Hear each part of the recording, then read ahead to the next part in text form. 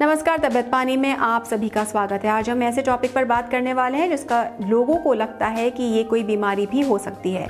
अगर आपके पैरों की नसें दिखती हैं या नीली नसें होने लगती हैं तो ये वेरिकोज वेन्स की समस्या हो सकती है।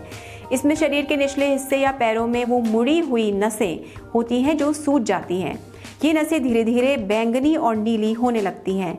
इसकी वजह से ज़्यादा देर तक खड़े रहना या देर तक चलना मुश्किल हो जाता है। इससे कई लोगों की नसों में दर्द, खींच या तकलीफ़ होती है। वहीं दूसरी ओर कुछ लोग ऐसे हैं जिन्हें इनसे कोई तकलीफ़ नहीं होती। कई बार लोग इस समस्या को अनदेखा कर देते हैं, लेकिन ये नसें बाद में कई बार तकलीफ़ दह हो जाती हैं। कई बार इससे शरीर में कई तरह की परेशानियाँ भी होने लगती हैं। सूजी हुई नसों की वजह से लक्षण और इलाज क्या हो सकते हैं, आइए जानते हैं। वेरिकोज वेन्स का कारण, पहला, ज़्यादा देर तक खड़े रहना। यदि आप ज़्यादा देर तक खड़े रहते हैं तो आपके पैरों में सूजन आने लगती है।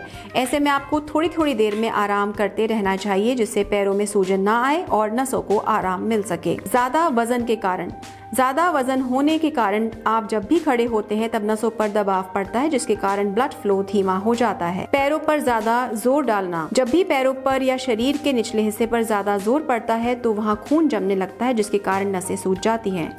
अनुवांशिक वजह से, कई बार लोगों को ये बीमारी अपने पूर्वजों के कारण भी हो सकती है। यदि परिवार में किसी को वेरिकेज की समस्या हो तो ये संभव है कि आपको ये हेरिडिट्री के कारण हो रही है। वेरिकोज वेन्स के लक्षण। नसों में दर्द और सूजन होना, पैरों में सूजन आना, सूखी त्वचा का होना, रात में पैरों में दर्द होना, नसों के आसपास त्वचा का रंग बदलना। वेरिकोज नसों का इलाज। व्यायाम करें। व्यायाम करने से आपका वज़न नहीं बढ़ेगा, जिससे आपके पैरों पर दबाव कम होगा और नसों की सूजन कम होगी। ज़्यादा देर तक खड़े न रहें। ज़्यादा देर तक खड़े रहने से ब्लड फ्लो धीमा हो जाता है और धीरे धीरे पैरों में सूजन आने लगती है, इसलिए ज़्यादा देर तक खड़े न रहें। टाइट कपड़े ना पहने। टाइट कपड़े पहनना यदि आपकी जीवन शैली का हिस्सा हो तो इससे नसें दबती हैं, जिससे नसों में सूजन आने लगती है।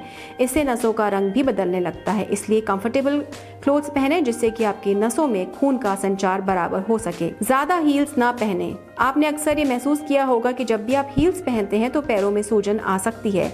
इसलिए हील्स को ज़्यादा ना पहने, ताकि आपके पैरों में सूजन ना आए। कंप्रेशन मोजों का इस्तेमाल करें। कंप्रेशन सॉक्स पहनने से ब्लड फ्लो सही रहता है। पैरों की सूजन कम होती है, नसों से जुड़ी बीमारियों में सुधार होता है और ब्लड क्लॉट से बचता है। पैरों की परेशानी होने पर कंप्रेशन सॉक्स का इस्तेमाल ज़रूर करें। आज के तबियत पानी में इतना ही। आप बने रहिए वीडी टीवी भारत के साथ।